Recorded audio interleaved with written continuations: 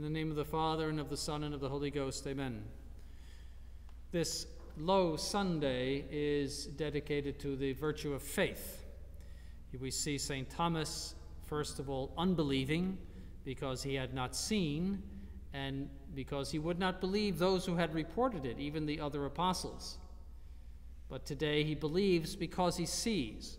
But faith is assent to things that are unseen and assent to things that we take on the testimony of others. And in this case, it is the testimony of God. We believe the truths of the Catholic faith based on the testimony of God. And the motive for our belief is the authority of God revealing. Today, I would like to begin, therefore, a series of sermons on Holy Providence, which is also an object of our faith. Our faith is not confined to the dogmas of the Trinity and Incarnation and other great dogmas of the Church, but also very much to Holy Providence, the will of God that is fulfilled throughout all eternity. And this is especially important for our spiritual lives because by belief in Holy Providence, we live the faith. Not only do we assent intellectually to it, but we live the faith. Now, there are a few points that need to be reviewed concerning providence. One is that God not only created the world from nothing, but also maintains it in existence every single moment of the day. So, for God, the act of creation of the whole universe and the maintaining of that creation in existence every moment of the day is one and the same act. He even maintains the sinner in existence when he is sinning against him, when he is blaspheming him. He maintains him in existence. He maintains the devil in existence. Second, the purpose of creation was a single end, and that is the manifestation of God's goodness. Third, all movement in the entire universe is dependent upon God as prime mover. I'll give you an example, an analogy. Think of a wind up clock. You wind the mainspring, and the power of that mainspring gets into all of the little gears that move the hands. If you open a, a wind up clock, you'll see all sorts of things moving about back and forth. That is all from the power of the mainspring. So also God moves all things by his providence, by his will. And even though there are secondary causes, just as there are many gears that move the hands, so also God moves through secondary causes.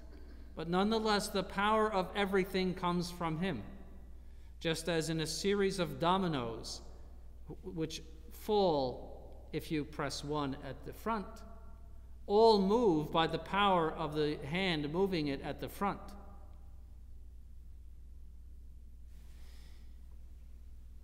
Fourth, all things that happen in the universe are moved by Him ultimately as prime mover. They are all known by him and are foreseen by him from all eternity, are willed by him, or at least permitted by him from all eternity.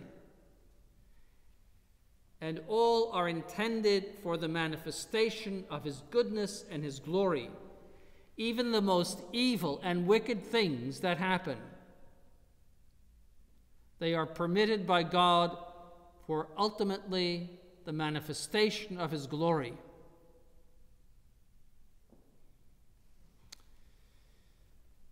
Five, nothing escapes His knowledge or His will not even the most minute activity.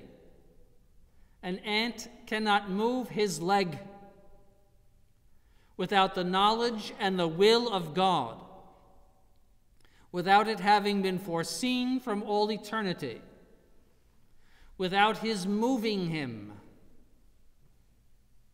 Not a single tiny thing can happen.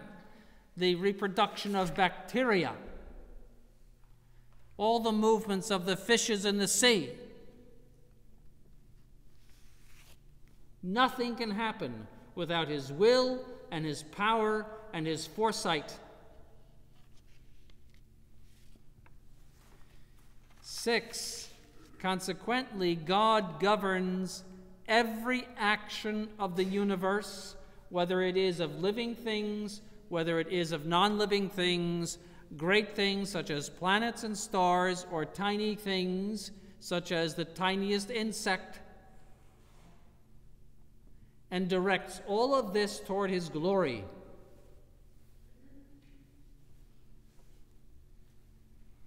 And as great as a star or a planet may be, there is more of God's creation in the tiniest insect than there is in the largest planet or the biggest star.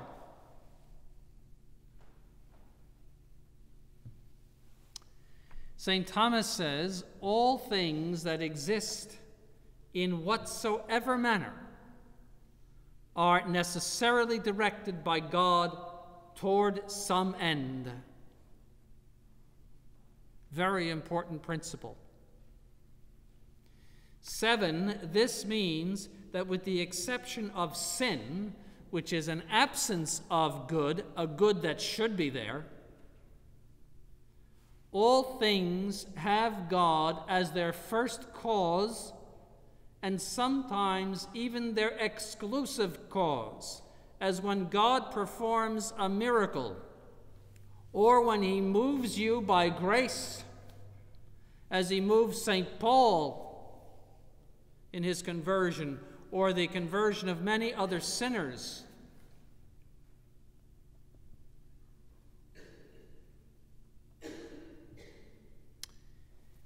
8.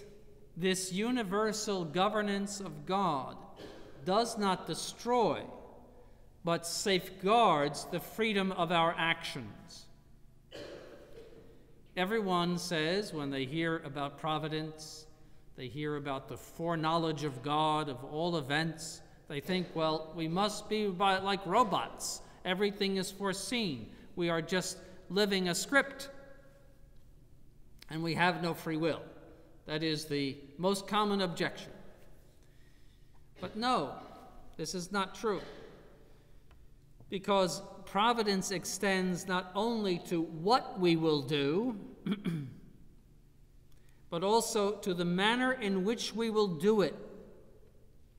That is, by our own free choice and election. So, God, who is the author of grace, and of our free wills does not violate our free will by moving us by his actual grace. Because the things of God do not conflict, there is no violence. He made both. And he could not violate our free will without exterminating our free will because the freedom of our will is very much a part of our nature. Number nine, therefore, God knows each one of us intimately. Our strengths and our weaknesses, He made them. He made our strengths and He knows our weaknesses. And consequently moves us toward the good with both a gentleness and a strength. He moves us infallibly toward the good, but with a gentleness whereby it does not violate our free choice. And number 10, although God's providence extends to all things, both to the great things and to the tiniest things. Nevertheless, God governs the lower creation through the higher. So there is a gradation in creation, higher beings and lower beings, and the higher beings govern the lower beings. That is the normal government of God in creation. He will occasionally step in and set aside these secondary causes. As in the case of certain miracles regarding saints, for example, that certain saints were not burned by fire. He can, as author of nature, suspend the physical effects of fire. And that's where he sets aside the hierarchy of causes, the physical laws, steps in and does what he pleases.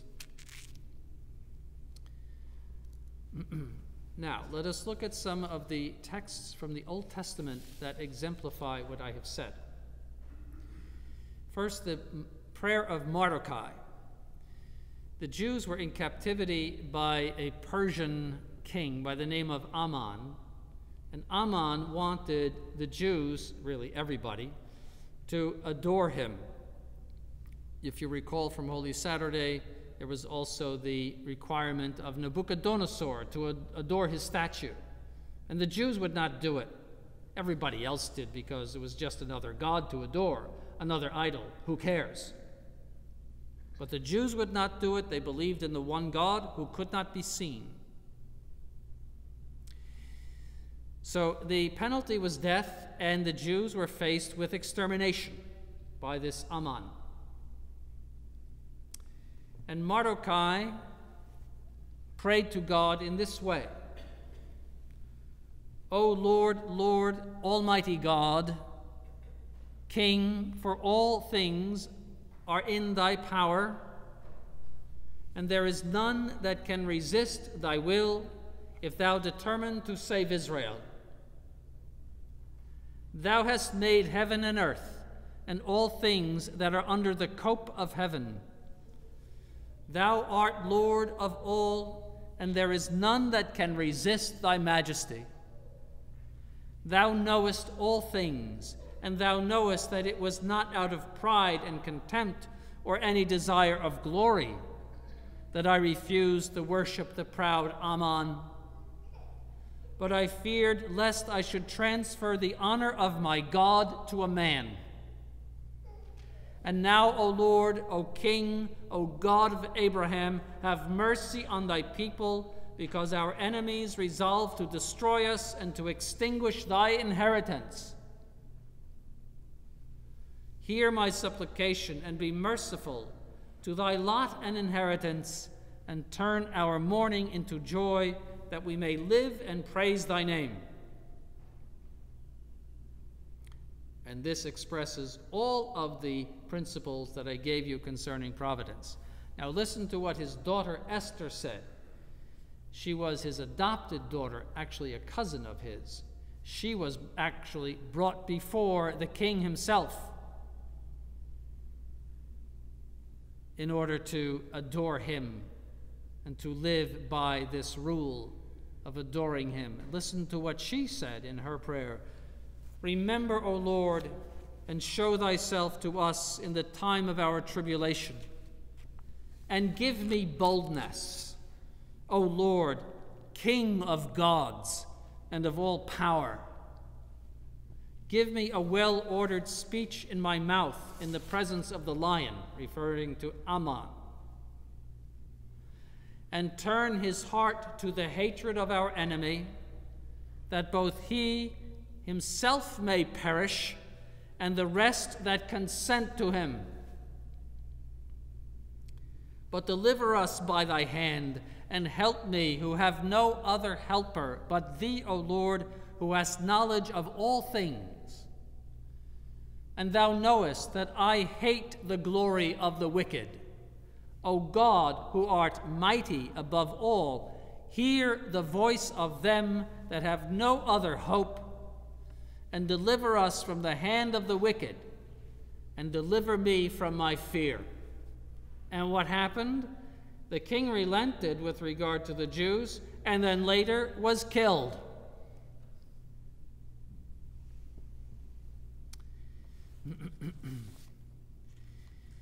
what is clear from these texts is that God's will and government reaches down to the smallest details and into the hearts of men, moving their free actions as He will. Providence, however certain, remains at times unfathomable. This is especially true when we contemplate the tribulations of the just. Many of us say, Why do the good suffer? If we are obeying the commandments, leading a good life, why do we suffer? Conversely, why do the evil prosper? They should be punished, but many of them are rich.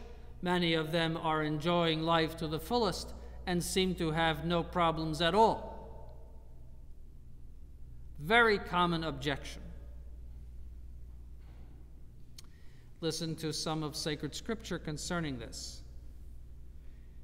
Book of Proverbs As the divisions of waters, so the heart of the king is in the hand of the Lord. Whithersoever he will, he shall turn it. Every way of a man seemeth right to himself, but the Lord weigheth the hearts. Ecclesiasticus, as the potter's clay is in his hand to fashion it and order it, all his ways are according to his ordering. So man is in the mind is in the hand of him that made him and he will render to him according to his judgment. The book of Isaiah. The Lord of hosts hath sworn, saying, Surely as I have thought, so shall it be. And as I have proposed, so shall it fall out. That I will destroy the Assyrian in my land, meaning the invaders into Israel and upon my mountains tread him under foot. And his yoke shall be taken away from them, and his burden shall be taken off their shoulder. This is the hand that is stretched out upon all nations. For the Lord of hosts hath decreed, and who can disannul it? And his hand is stretched out, and who shall turn it away? Listen to the to Judith.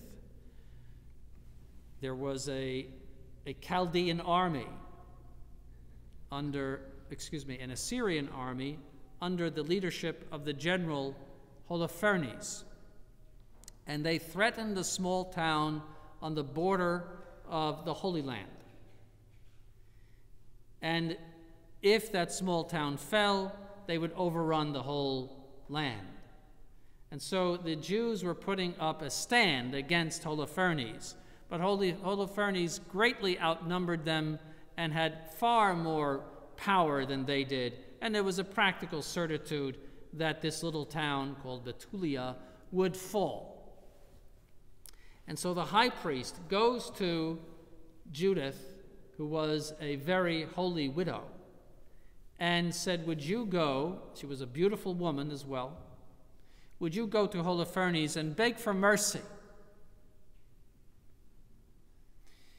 And she put on magnificent clothing. She was beautifully dressed. And she went over to the camp of Holofernes, and she so impressed the soldiers there that they said, Oh, Holofernes would be very, very happy to receive you. And she goes to the tent of Holofernes and she begs mercy. But before she did that, she made this prayer. She made this speech, rather. She says, And now, brethren, referring to her fellow Jews, as you are the ancients among the people of God, and their very soul resteth upon you, she's talking to the high priests. Comfort their hearts by your speech, that they may be mindful how our fathers were tempted, that they might be proved whether they worshipped their God truly. That they might be proved whether they worshipped their God truly. Very important words. They must remember, she continues, how our father Abraham was tempted and being proved by many tribulations, was made the friend of God. So Isaac, so Jacob, so Moses, and all that have pleased God passed through many tribulations, remaining faithful. But they that did not receive the trials with the fear of the Lord, but uttered their impatience and the reproach of their murmuring against the Lord were destroyed by the destroyer and perished by serpents.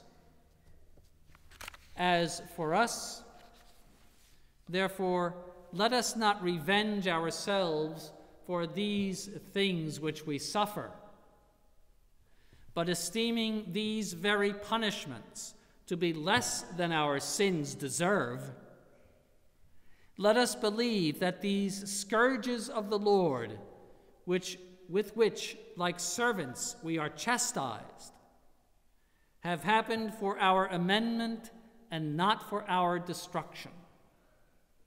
Very important principle that one of the motives of the suffering of the just is for their correction for their amendment because God loves them and wants to bring them to a higher perfection, wants to prove their friendship. Those who reject the amendment of God, and those, as, Saint, as Judith says, do not accept these tribulations in the fear of the Lord, are destroyed.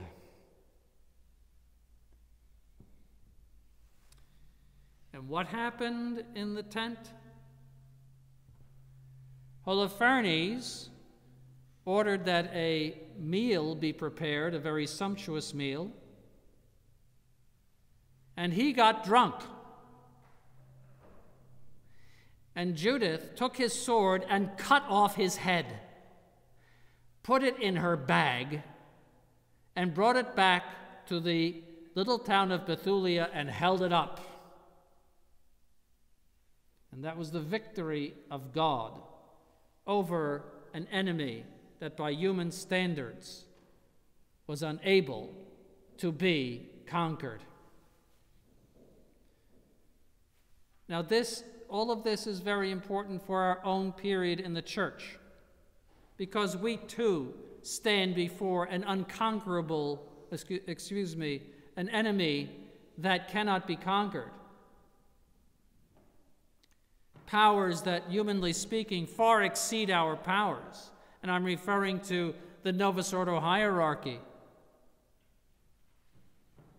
There is, humanly speaking, we have no power against them. And our preservation from their corruption is completely by the power of God. And because God has given us graces to resist this thing. They intend to despoil our inheritance, as Mordecai said, to destroy Catholicism as we have known it since before Vatican II and as it goes back to the early ages of the church, back to our Lord Jesus Christ himself. They want to do the same thing that Amon did or wanted to do to the Jews and they want to do the same thing that Holofernes wanted to do to the Jews. And these holy people of the Old Testament profess their faith in God, their faith in the providence of God, and put all of their hope and confidence in God alone, and they were delivered. Our situation is exactly the same. We are helpless before this tidal wave of Vatican II, which has destroyed everything that we have held sacred for centuries upon centuries. and we must pray to God with the same hope and confidence. Isaiah said, speaking in the name of God, For my thoughts are not your thoughts, nor your ways my ways, saith the Lord. For as the heavens are exalted above the earth, so are my ways exalted above your ways, and my thoughts above your thoughts. Teaching us that the ways of God are unfathomable and inscrutable.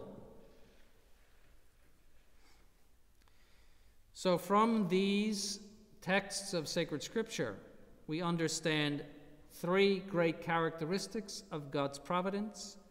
First, that it is infallible, it never makes a mistake, God's will never goes undone. And it is infallible even with regard to our free actions. Second, that it directs all things to good that good being the glory of God, even the most evil things. And third, that it is inscrutable and unfathomable. In the name of the Father, and of the Son, and of the Holy Ghost, amen.